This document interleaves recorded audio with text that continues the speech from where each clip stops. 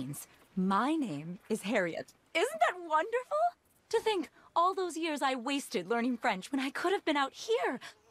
Ugh, we must push on with our research. So, there's a bison I've been hearing about. A formidable specimen, if the rumors are true. I'd very much like to study its physiology, if you can get me a sample.